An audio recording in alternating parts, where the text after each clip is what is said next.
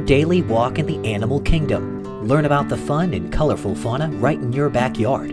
This is Out of the Wild North America, a new animal featured every day in April.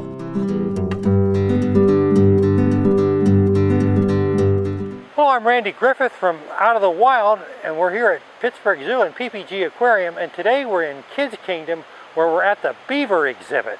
Today we're going to talk about one of my favorite animals in the zoo, and that's the beaver. And, and you don't see them a lot in the wild, but they're found in the wild too.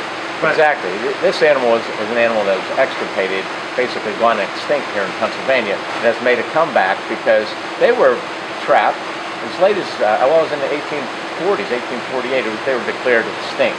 And it was because they're trapped for their fur. They, they made the, the uh, felt hats from the beaver pelts, and they're very popular with Europeans. In fact, Europeans probably started moving off the, the coast of the United States in search of beaver pelts and otter pelts, which brought a lot of money.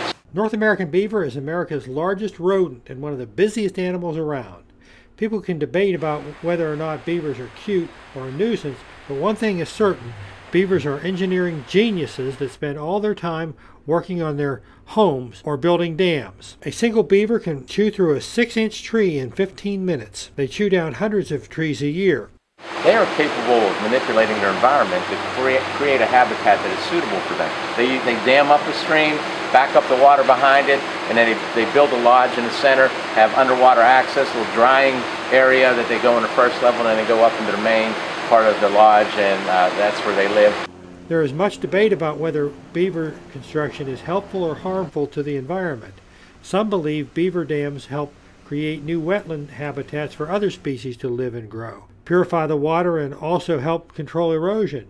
But others say dams and lodges can slow the flow of water in streams, causing them to back up and flood low-lying areas. In a lot of animals, the male doesn't play any role in raising the young. It's up to the female. In this case, the male beaver plays a role, and he's the one who's worried about their safety. Mom's like making sure everything's looking nice in the lodge. So, uh, yeah, it's pretty neat. Okay.